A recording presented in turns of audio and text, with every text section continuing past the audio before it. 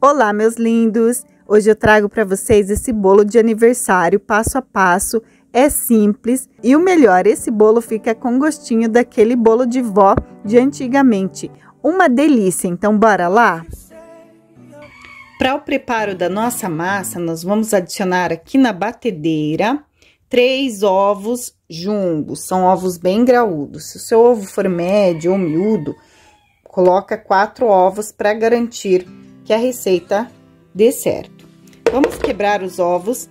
Eu vou quebrar direto aqui, gente, porque esses ovos estão selecionados. Eu uso ovos frescos para fazer bolo assim, gosto de ovos frescos por causa do resultado. Sempre falo para vocês que esses bolos de massa mais delicada, é importantíssimo você usar ovos frescos, tá? Porque se o ovo tiver velho, muito tempo ali parado, ele sola o bolo, não fica fofinho, não dá muita leveza, sabe? Lembrando que essa é uma massa ideal para você fazer um bolo recheado para aniversário, simples, caseiro, bem de vó, assim, ou fazer essa massa só para comer com aquele cafezinho da tarde, fica perfeito também, sabe? Tomar com aquele cafezinho, hum, que fofura, que delícia. Junto aqui eu já vou colocar, gente, uma xícara de 240 ml de açúcar. A xícara que hoje é 240 ml, tá bom? Essa é a referência. Vamos levar para bater essa mistura aqui.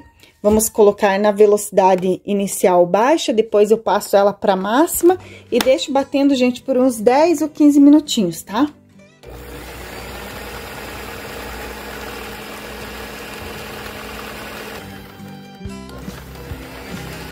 Já deixe um like aqui no vídeo, se inscreva aqui no canal.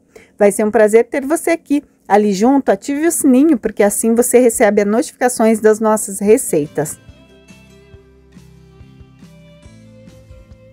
Bati essa mistura por 15 minutinhos na velocidade alta. Olha como que ela fica, uma gemadinha bem fofinha, branquinha, um creminho. Agora, nós vamos adicionar aqui, gente, uma xícara de leite em temperatura ambiente. Não precisa estar mono, mas não pode estar gelado, tá? Temperatura ambiente, uma xícara de leite, xícara de 240 ml. E aqui nós vamos adicionar também, gente, um pouco menos de meia xícara. Se você não tiver um copo medidor, você vai pôr um dedinho pequenininho abaixo da meia xícara aqui, ó. Tá vendo? A xícara dá aqui no gargalo, aqui assim, ó, de óleo. É 80 ml de óleo. Eu tô passando desse jeito pra dona de casa conseguir acertar a receita. Porque tem gente que não tem o copo medidor, tá? Mas é 80 ml. Caso você não tenha o copo medidor, olha, 80 ml. Abaixo da meia xícara aqui, e vamos voltar a bater, gente, por uns dois minutinhos apenas em velocidade baixa, só para homogeneizar esses ingredientes.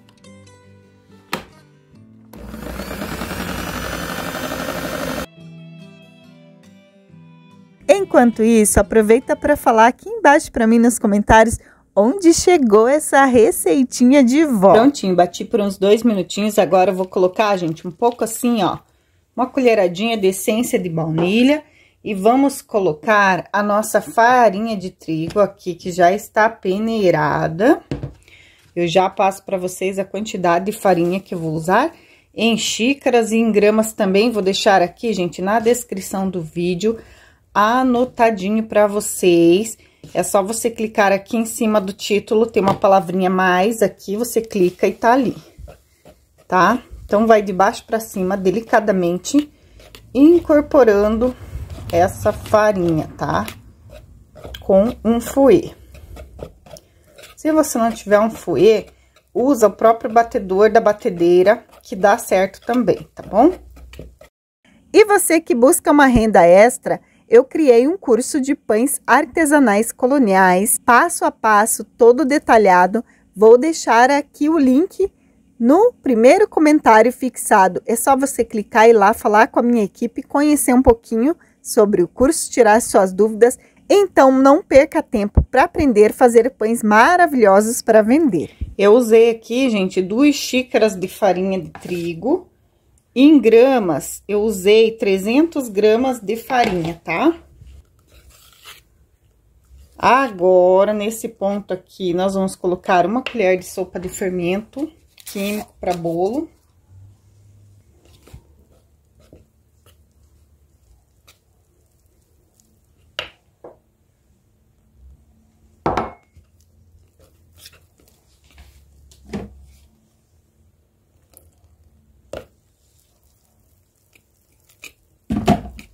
Se tiver um pouquinho de leite ou um tiquinho de água para ajudar a dissolver o fermento, pode pôr.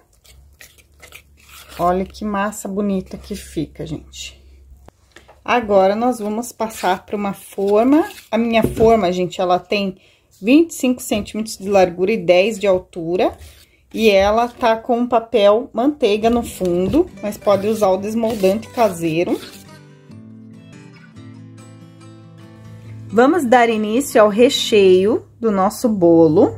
Em uma panela de fundo grosso, eu coloquei uma caixinha de leite condensado. Vou colocar duas colheres de sopa de amido de milho junto com o leite condensado. E vamos dissolver esse amido aqui no leite condensado, para ficar mais fácil de dissolver, gente. Então, vou dar essa diquinha aí para vocês.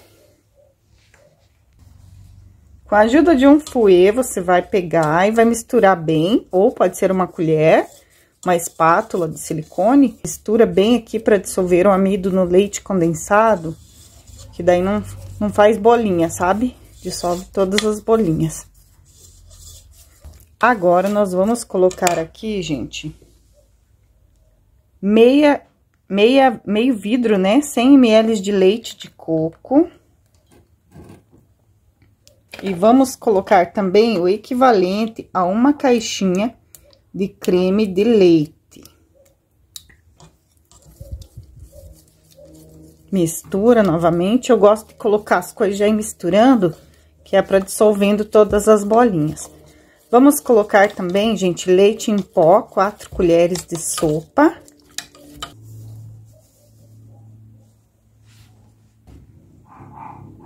E vamos adicionar uma xícara e meia de leite. Lembrando que a xícara, gente, é 240 ml. Vamos misturar bem. Vamos cozinhar o nosso creme aqui de recheio em fogo baixo. Eu esqueci de colocar, gente, essência de baunilha, que eu gosto de colocar assim, ó. Tipo, uma colher, mais ou menos, de sobremesa de essência de baunilha nesse recheio, que fica mais gostoso. Mexendo sempre pra não grudar no fundo.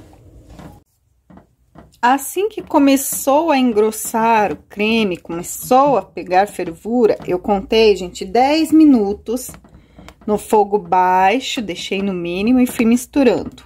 10 minutos de cozimento para o nosso creme. Ele fica assim, grossinho, ele ainda cai assim, ó, ralinho da colher, mas aqui em cima ele faz uns montinhos, olha. E ele começa a desgrudar um pouco assim do fundo da panela quando você tá cozinhando. Faz um leve caminho, mas não chega a fazer assim um caminho de Moisés, sabe? 10 minutos de cozimento no fogo baixo. Depois, quando a gente passar ele para uma travessinha de vidro e deixar esfriando, ele vai ainda pegar mais consistência. Aí você derrama ele assim, ó, e ele cai fazendo uns montinhos.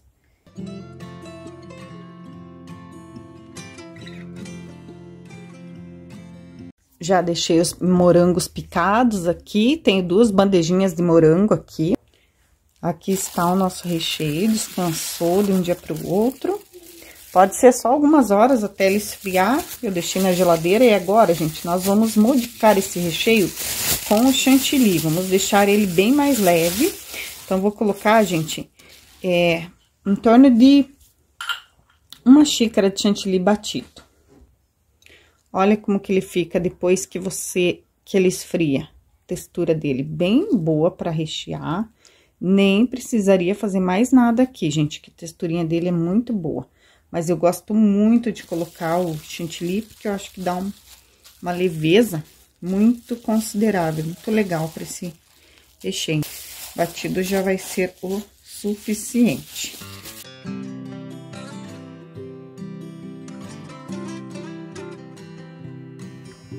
Olha só. Que top que é esse recheio, gente. Estão vendo? Coisa mais linda. Olha essa textura, gente. Estão vendo? Agora, nós vamos reservar esse recheio na geladeira e vamos cortar e ajeitar aqui a massa do bolo. Olha só a massa. Vamos agora virar a massa, já passei a faquinha aqui em volta.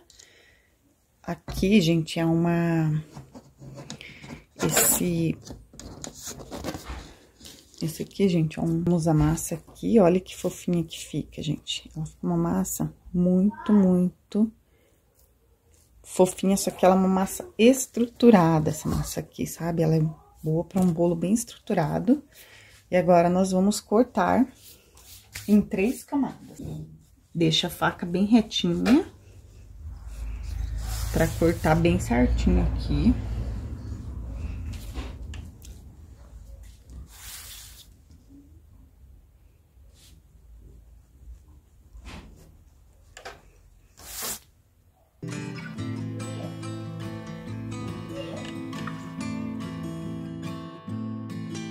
Três camadas de massa. Muito, muito top, né? Algumas pessoas preferem montar o bolo direto no tabuleiro, mas eu acho que assim o bolo fica mais certinho. Então, mesmo sendo, mesmo que nós vamos servir hoje, esse bolo vai ser um bolo bem caseirinho assim para servir hoje, nós vamos montar ele aqui. Então, vou colocar o topo, essa massa aqui é a massa que vai ficar por cima quando a gente virar o bolo, né? Então, vou colocar aqui.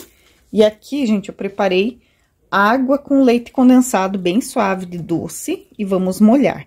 Eu gosto de usar, gente, mais ou menos 100 ml para cada banda de massa. Como essa massa tá mais fininha, eu não vou usar tudo isso de calda, mas eu gosto de um bolo bem molhadinho. Então, eu uso bastante calda. Aqui, eu não vou usar toda a calda, por causa que a massa tá mais fininha. Vamos colocar os morangos.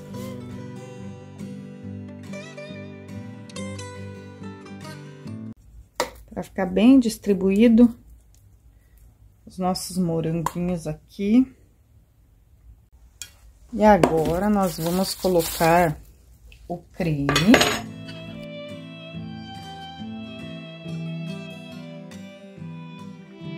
Dá uma pressionadinha na colher e só faz esse movimento aqui, ó.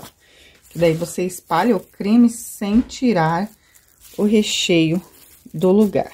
Fica perfeito. Como meu filho não gosta de coco, eu vou colocar somente na metade do bolo o coco. Façam assim que vocês vão amar. E eu vou colocar, ó, só nessa parte aqui. Fica muito, muito bom. Muito, muito gostoso. Esse é o coco flocado. Agora, nós vamos colocar a outra massa aqui em cima.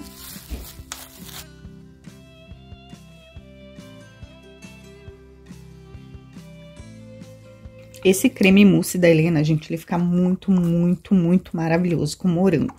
E tem vezes que eu faço, gente, morango, pêssego, do jeito que eu tô fazendo aqui, só que eu coloco pêssego junto com morango. Fica muito, muito bom. Só faço, experimente fazer pra ver que delícia que é. Na fatia de baixo, que tá mais fina, gente, eu coloquei só uns 60 ml de calda. E aqui, gente, vou colocar em torno de uns 80 a 100 ml. Coloquei mais, porque essa fatia, além de ser mais grossa, ela é do meio, então ela fica bem molhadinha.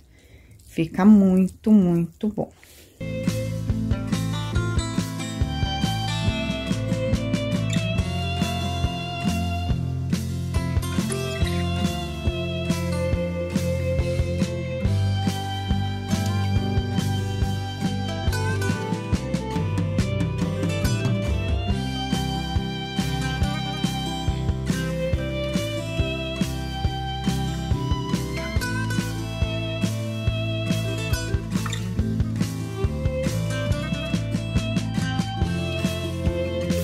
Bolo montadinho, agora nós vamos fechar esse bolo assim, para deixar ele descansando na geladeira por pelo menos umas duas horas. Eu gosto de deixar de um dia para o outro, mas hoje não vai ser possível. Então, nós vamos deixar ele, gente, descansando por pelo menos duas horas e voltamos para dar uma finalizada nesse bolo. Retirei da geladeira, vamos passar esse bolo agora para uma travessa de vidro e eu vou colocar só um pouquinho de chantilly aqui por cima e o segredo é esse, usa pouco chantilly, pega uma espátula e vai espatulando esse bolo de maneira bem rústica, tira o excesso de chantilly, deixa do jeitinho que você achar mais bonito, faz o acabamento que você quiser eu não gosto tanto dessa massa aqui, gente, que é uma massa que eu tinha receita no caderninho aqui, gente. É muito antiga. Eu nem sei se era de vó, de tia, de quem era essa receita, porque faz muito tempo que ela estava anotada aqui no meu caderno e eu resolvi fazer essa receita de massa. E aqui por cima eu vou colocar, gente, uma florzinha de orquídea que eu tenho aqui, artificial, e umas florzinhas que eu tenho aqui, gente, super simples, natural e assim, gente, eu achei uma fofura esse bolo. Comentem aqui o que vocês acharam. Vocês gostam de bolo assim, espatulado? Eu amo bolo simples assim. É bem a minha cara. E eu fiquei muito feliz com o resultado. E olha esse bolo por dentro, gente. Esse bolo foi eleito pelos meus amigos e pela minha amiga que estava aqui, que também estava de aniversário. Então, eu fiz esse bolo para ela e para mim. E segundo eles, foi o melhor bolo de aniversário que eles já comeram que eu fiz. Então não deixem de fazer aí na sua casa. Só uma observação. Eu particularmente prefiro esse bolo com a minha massa de pão de ló de três ovos. Eu ainda acho que fica mais fofinho e gostoso, tá? Então aí minha sugestão com a minha massa de três ovos, que já tem receita aqui no canal, mas fica a critério de vocês, porque assim ficou muito, muito gostoso também com essa massa. Um beijo e lembre-se, o segredo é fé em Deus.